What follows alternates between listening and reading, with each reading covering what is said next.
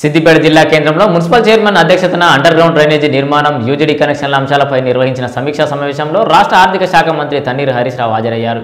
ఈ సమావేశంలో MLC Raghottam Reddy vice chairman Akhtar Patel అన్ని వార్డులకు చెందిన కౌన్సిలర్లు municipal commissioner Srinivas Reddy public health department EE Veerapratap municipal శాఖ అధికారిక యంత్రాంగం సిబ్బంది పాల్గొన్నారు.